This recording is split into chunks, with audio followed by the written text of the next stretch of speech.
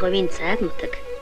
Одоогийн Өвөр Хангай аймгийн Зүйл сумын найрамдал бригадын төвд байгаа 9 Зүйл гэдэг газар Бэлгийн тооллын 11-р жарны хөхөгчин гахай жил буюу аргын 1635 оны 9-р сарын 25-нд халахын Түшээд хаан Гомбод оржинд нэгэн хүү мэндэлсэн. Түүнд Эрдэнэ ухаан төгсгөн болохыг бэлэгдэн бэлэг бэлгүн очир буюу зам узар химээх нэр өгчээ.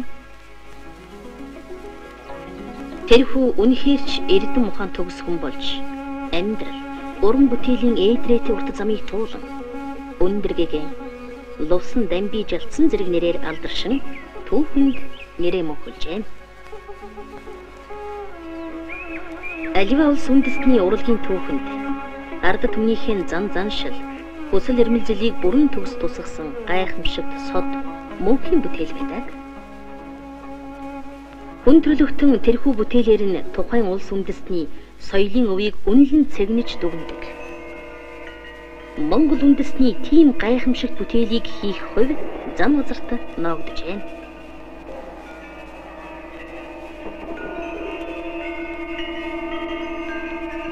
Зам газар 10 хэдтэйд эртний энэтхэгээс уламжлалтай дорн дахны соёлын нэгэн гол төв болж байсан төвд оронд очиж буддын гүн ухаан, урал буян ухаан, яруу найргийн онолд суралцаж түүний оюун бэлгэн дэлгэрэн авьяас эрдмэн бадарч цэцэглэн халах нутагтаа эргэж ирсэн юм.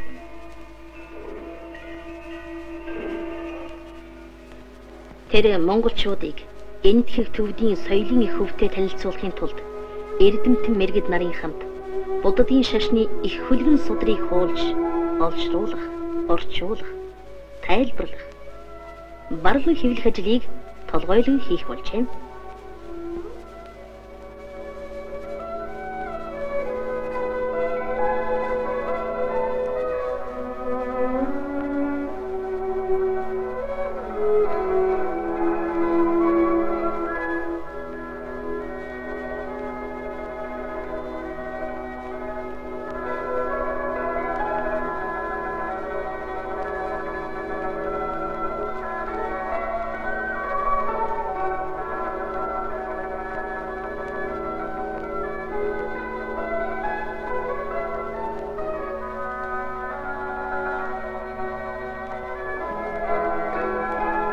Зам газар янз бүрийн бурхан бүтээж байснаа бодит хүний хөрөг зурдаг болжээ. Тийм бүтээлээс нь манай үед хадгалагдсан үлдсэн нь өөрөө өөрийгөө болон их ханд жамцаа зурсан хөрөг юм аа. Анх харахад энэ нь бурхны зураг мэт боловч чухамда хувь хүний нүүр царай төрөх байдал хүсэл эрмэлзлийг үнэн бодиттой дүрслэн харуулсан хөрөг зураг юм. Бодит хүний бие төрхийг бурхан бүтээхэд баримталдаг. Тэг бэлэгдэл зүйрлэлтэй чадам хослуулан нэгэн зохиомж болгон өнгө дүрсийн зохицолдог эвлэг сайхан тохируулсан нь зураачийн уран чадварыг илтгэнэ. Зам газар нь тухайн цаг үеийнхэн үйлдвэрлэл, сэтгэлгээний ололт туршлагыг бүрэн эзэмссэн хүн байсан тул түүний авьяас нь урлагийн олон төрөл зүйл дээр илэрсэн байдаг балв төвдийн уран барилгын хэлбэрийг зам озар баяжуулан ард түмнийхэн ахуй амьдралын онцлогийг тусгасан нүүхэд хялбархан гэр хэлбэртэй уран барилгын ийм шин загварыг зохион хэд хэдэн газар сүм хийд байгуулсны нэг нь их хүрээний цогчин дуган байсан юм. 1654 оноос зан узар Өвөрхөнгай аймгийн Батүлжид сумын нутагт төвхөн гэдэг хийд байгуулж тэнд суун ном бясалгаж уран бүтээлийн тойрох болжээ. Энд бурхан зурж, сүм дуган бариулж, ном судар бичиж байсан боловч уран баримлын төрөл дээр дагнан ажиллаж байлаа. Зан узар Монгол дарагчдын төмөр боловсруулах эртний уламжлалт аргыг төгс эзэмшиж, түүнийг улам баяжуулан уран баримлын бүтээлийн цутгаж байжээ.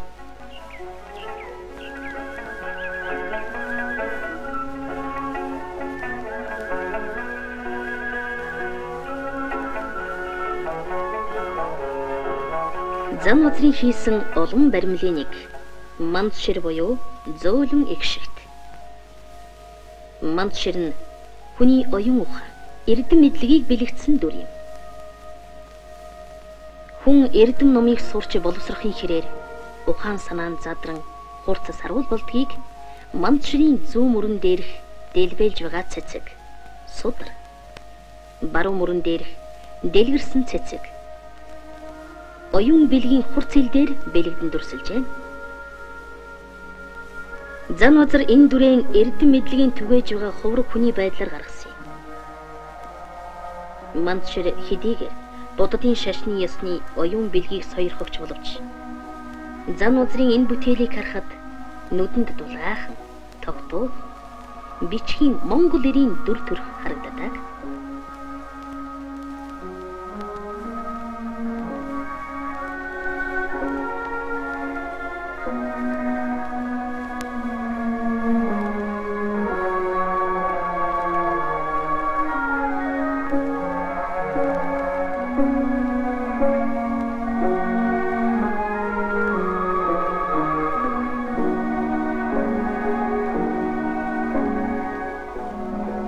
Монголын олон үеийн урчуудын хийж бүтээхийг зорж байсан. Монгол түмний сэтгэл зүрхэнд ойр дотно тэдний амьдралын хүсэл мөрөөдөл, итгэл найдварыг бүрэн тусгасан олон дүрийг зан узар бүтээж чадсан юм. Тэдний нэг нь хүнийг асран тэтгэх энэрэнгүй сэтгэлийн бэлэгдэл болсон майдрын дүр юм. Баримлч дүрийнхэн залуу гойлог бие цогцсын үзэсгэлэнт галбир уян налархай хөдлөг түүний өмсгөлийн торгомсог чанарыг маш урнаар хийсэн нь аргагүй л хараа булана.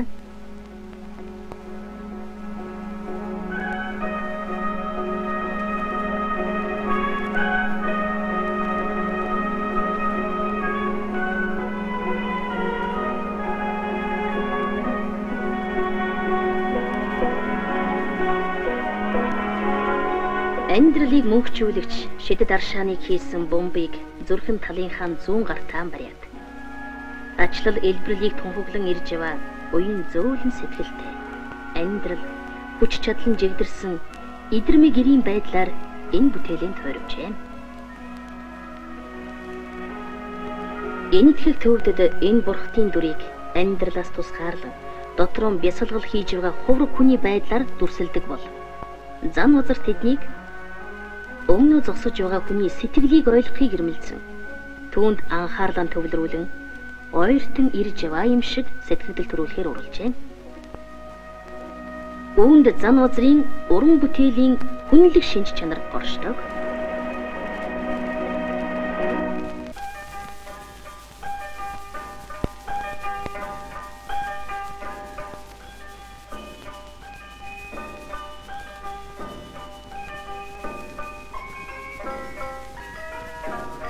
Зан узар баримлууд Бурхныг бүтээх энэтхэг төвдийн тэг зарчмын дагуу хийж байсан авч түүнийг бүтээлчээр баяжуулан хүний биеийн гоо сайхныг бодол санааны төвлөрөл бясалгалтай урнаар холбон амьлуулсан байдаг. Түүний цутгасан бурхтын бие эрхтний харьцаа зөв бөгөөд гоолив цэвэрхэн хөл гар нь уян налархай. Нүднийх нь хараа хурц сэргэлэн. Хөмсг нь зургаар хиймэрлэг байдаг нь уг дүрийг уламж хүнлэг амьд болгодог. Зан узрын бурхтын нүүр царай Библиэлдраас хүч чадал, саруул ухаан, амьдралд итгэсэн итгэл гэрэлтэж байдаг. Эдгэр баримлыг хувцс зүйлтийн хамт цулаар нь цутгасан байдаг нь зан узрын урлан бүтээх чадварын нэг гайхамшигт онцлог юм аа.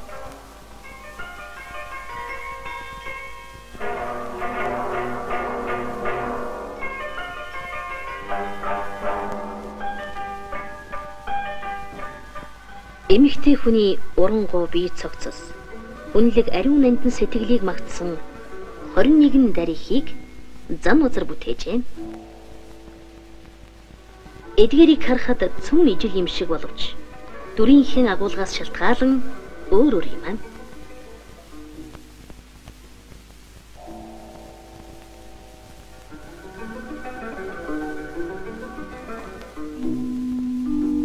Хорин нэгэн дарь ихэд 17 дугаар зууны монголчуудын амьдралыг ойлгосон ойлголт. Ертөнцийг үзэх үзэл нэвт шингэснээс гадна. Тэдний сайн сайханд тэмүүлсэн хүсэл эрмэлзэл. Хүний эрхэм нандин сэтгэл. Библиэдрийн гоо сайхантай нэгт уялдсан байна.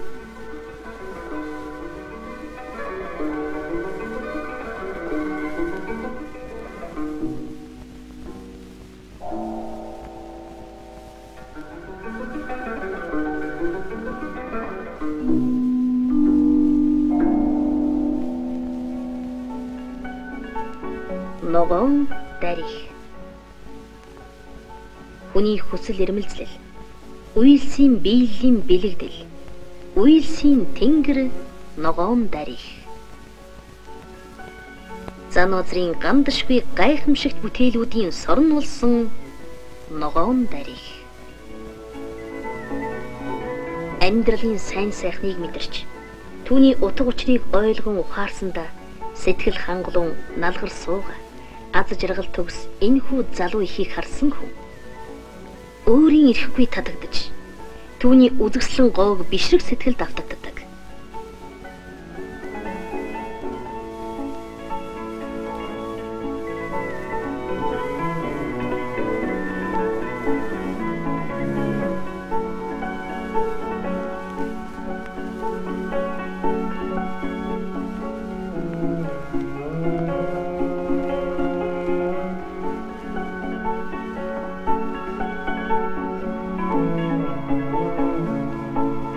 Амьдралын эрээн барааныг мэдсэн нь ногоон дарийн сэтгэл санааг сэвтүүлээгүй. Уламж ухаалаг хүнлэг болгосон хараад. Түүний нүүр нүдэнд сэтгэлийн ямар ч хөдөлгөөн илэрхгүй царцсан юм шиг харагдах боловч үнэн дээр энэ бол сэтгэлийн их хүч, зориг төвчээрийн илэрл юм аа. Энэ байдлаараа тэр өөрийн харж байгаа хүнд ямар нэг далдын хүчийг агуулсан мэт сэтгэлдлийг төрүүлдэг. Ногоон дарын энэ эгэл жирийн бөгөөд тэнгэрлэг шинжин. Түүнийг дэлхийн урлагийн сорволсон бүтээлүүдтэй энэ зэрэгцүүлдэг.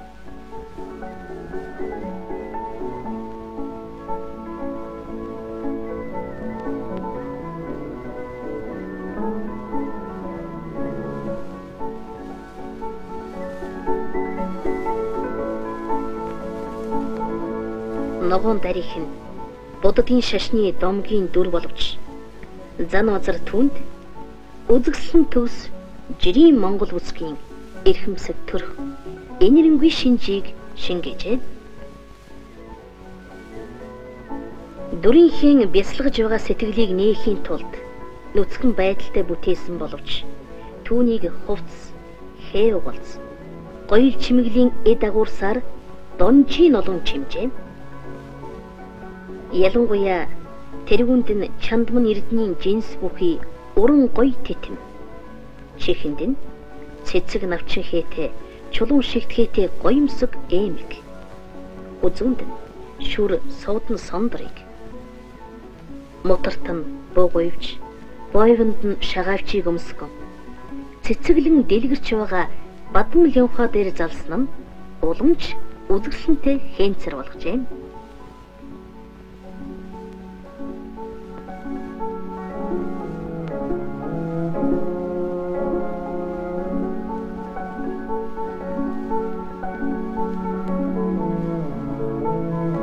Ногоон дарихийн баруун үлмийг газраас үндсэлсэн цэцгэн дээр тавиад зүүн мөрийн дэлбэгээ нээгээгүй баруун мөрийн дэлгэрч байгаа удвал цэцгсээр өвмц тансаг чимсэн. Их дэлхийгээс үүссэн амьдралыг үргэлжлүүлэн тэтгэгч. Их хүн болохыг тодорхойлсон баримлчийн уран санаажээ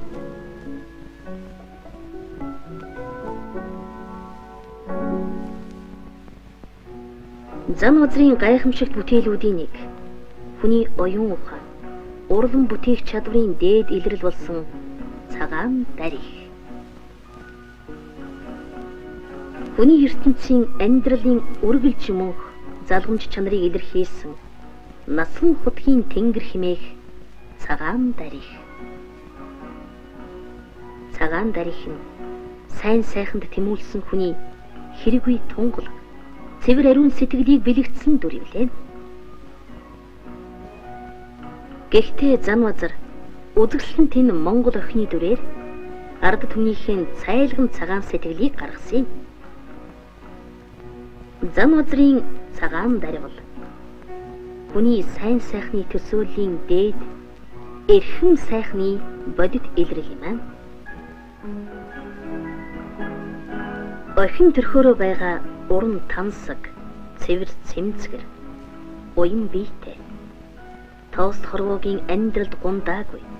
Ухаан саруул энэ охин итгэл хүсэл дүүрэн хэрвээ тунгалах сэтгэлээр биднийг харж суун. Төвний мэлми өөр ертөнц далдын хүчтэй харьцсан бясалгагчийн нүд биш. Амьдралын үн цэнийг ухаарч яваа хүний цэвэр тунгалаг, ухаалаг амьд харцаж байна. Дүрийнхэн агуулгыг зан вазар түүний суудал, мутрын байдал, нүдний харцнаас гадна зүү мөрөн дээрх дэлгэрч амжаагүй удвал цэцэг. Уй гişүнээ буй бэлгийн нүдээр бэлэгдэн харуулжээ. Зан үзрийн бүтээлүүдэд өөрийнх нь хүн чанар, бодол санаа, хүсэл эрмэлзлэл амьдарч байсан цаг үеийн бүрэн тусгагдсан байдаг. Тиймээс ч өнөөдөр бид бүтээлээс нь зан үзрийг болон түүний амьдарч байсан цаг үеийг танин мэдэж болно.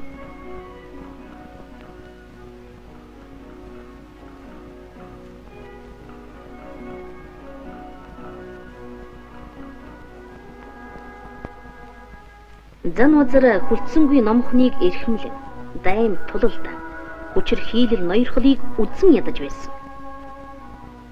Хүний сайхан сэтгэл амьдралын утга учирыг өөрийнхөө үеийнхэнд тэдний сайн мэддэг арга хэлбэр урлагийн хэлээр тайлбарлан номлож тунхаглаж байсан юм.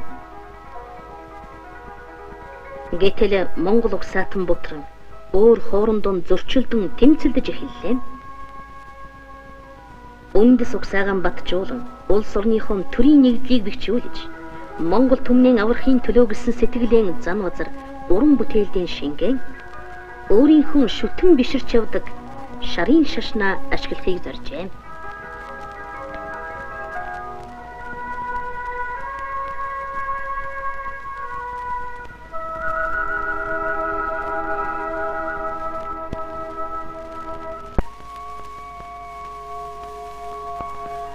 Буддын шашны номлоор бол ертөнцийн муу муухай зовлон гамшиг бүхэн хүний уур хилэн мунхаг харанхуй омог бардамцан шунал тачаалаас үүстэй гэж үздэг. Зан узарч бас тэгж ойлгож байсан хийгээд хүний сэтгэлийн муу муухай бүхнийг ариутгахч хийгдэх язгуурын таван бурхныг 1685 онд бүтээжээ.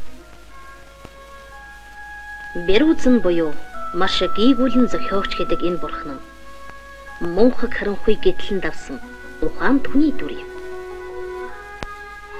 Энэ санааг зан вазар сэргэлэн цэг суудалтай хүний хамгийн дээд бод сэтгэлийг бэлэгдсэн гарын хөдөлгөөнөөр дүрсэлсэн юм.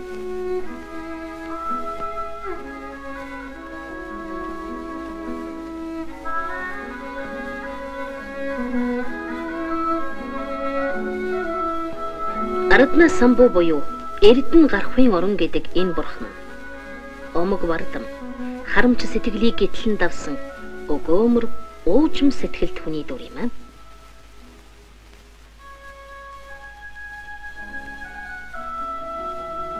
Амглан тайван хар хоргүй сэтгэл эвтэй найртай өвлөвч цэвэр ариун санааг бэлэгдэн хамаг үйлдэлийг гүйцэтгэгч баруун гарынхан алгыг нээн дэлгэсэн байдлаар энэ дүрийнхээ агуулгыг гаргажээ.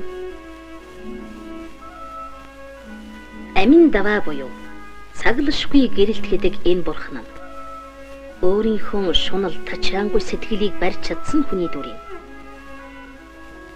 Энэ нь сэтгэлийн хөдөлгөөн болгоныг илэрхийлэгч баруун гараа оюун ухаан зүрхийг төлөөлсөн зүүн гараараа хязгаарлан бариад төв шулуун санаа сэтгэлийг илэрхийлэн сексууга хүний байдлаар уруулжээ.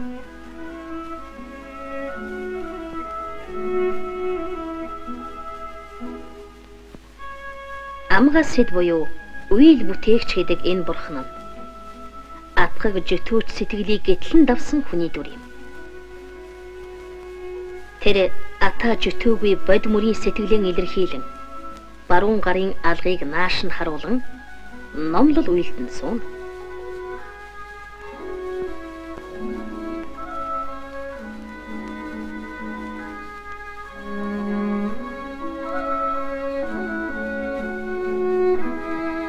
Агшава буюу үл хөдлөгч гэдэг энэ бурхан нь уур хилэн омог бардам зангаан барьж чадсан хүний дүр юм. Тэрээр хар цагаан нь тэнцүү нүдэ тогтоон сэтгэл санаагаа төвлөрүүлж ямар нэг хөдөлгөөн хийхээс төвөгшүүлсэн мэт баруун гарыг өвдөг дээрээ сул тавиад зүүн гарыг төв шудраг бясалгалын сэтгэлийг бэлэгдэн барьсан нь түүнийг уламж амирлангуй болгожээ. Энэ бурхтын бүх шинж чанарыг агуулсан дүр бол очир дар юм аа. Тэр нь өөрийнхөө өмнө зогсож байгаа хүнийг дөлгөөн тогтун харцтай. Давхраа талагнуудаарээ ухаалгаар ширтэн. Тайван суух нь үнэхээр бишрэм сайхан. Зам газрын хийсэн язгуурын таван бурхан нь хүмүүсийн харилцаа, улс орны байдалд шинжилгээ хийсний үр дүнд түүний хийсэн дүгнэлт бүх монгол угсаатныг эвлэрэн нэгтгэхийг уриалсан урай байсан бол тань. Гэвч түүхийн явц түүний хүснээр болсонгүй. Уймэн самун улам даамжилж, удаан жил үргэлжилж их цус урсгасан дайн болон хуурсан. Энэ дайны хөлд түүний байгуулсан сүм хийд олон бүтээл нь сүйдсэн төдийгүй. Монгол нутаг хилмигдэн уй гашуу давтлаа.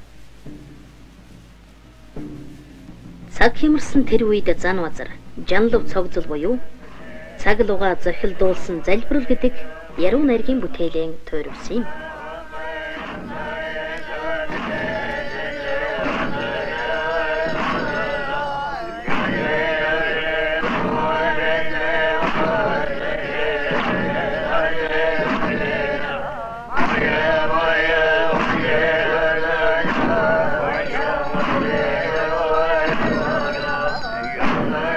Амтны мөнхөгийн харанхуйг арилгаад хамгийн айлдагч бэлэг бэлгийн гэгээг дэлгэрүүл мүү.